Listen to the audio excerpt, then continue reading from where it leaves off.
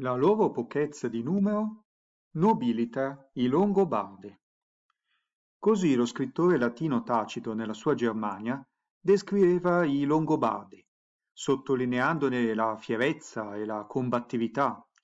Secondo gli storici, il popolo longobardo, al suo arrivo in Italia, compresi donne, bambini, vecchi, schiavi, era comunque composto da 200.000 persone, cui si unì un contingente di 30.000 sassoni, amici e antichi vicini di casa dei Longobardi.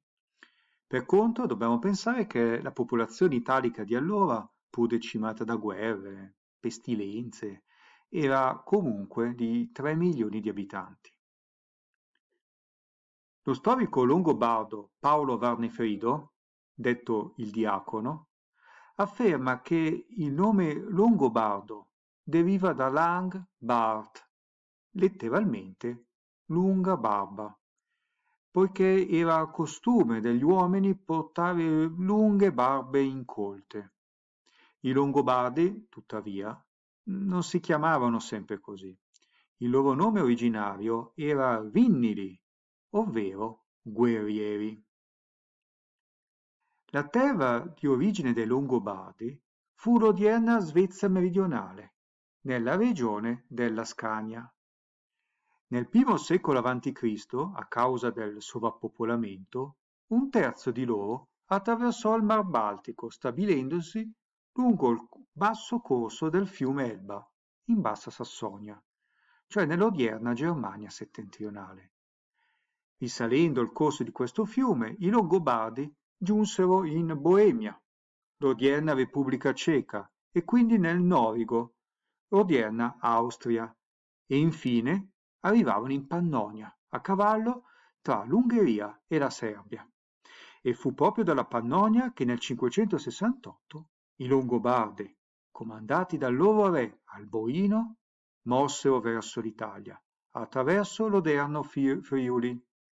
Capitale del regno longobardo fu sempre Pavia, Ticinum, sino a quando, nel 774, l'ultimo re longobardo Desiderio si arrese alle truppe di Carlo Magno, il re dei Franchi. Al vertice della società longobarda vi erano gli uomini adulti e abili alla guerra, chiamati arimanni, dalle parole longobarde hari, guerra, e man, uomo.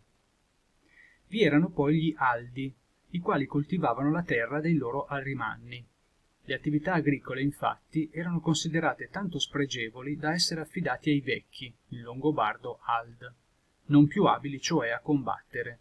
In fondo alla gerarchia sociale vi erano gli schiavi, in massima parte di origine slava, considerati non persone, ma semplici strumenti di lavoro nei campi. I Longobardi ospitarono infine comunità di popoli alleati, come i Bulgari, da cui forse derivano nomi di paesi come Bulgaro Grasso, Como e Bolgare, Bergamo. Ad ogni arimanno, in tempo di pace, erano affidate la riscossione dei tributi e la difesa di un territorio. I tributi riscossi erano per lo più di natura ed erano conservati in un apposito magazzino detto sala. Presso la sala vi era l'abitazione dell'arimanno, della sua famiglia, degli aldi e degli schiavi. L'insieme di queste persone era detto fara. Ogni arimanno aveva poi un gahagi, o gaggio, cioè una riserva di caccia privata. Già prima dell'arrivo in Italia alcuni arimanni si erano fregiati del titolo di duca, parola derivata dal latino dux, capo militare. Quando giunsero in Italia i duchi scelsero tra loro chi doveva diventare re dei Longobardi.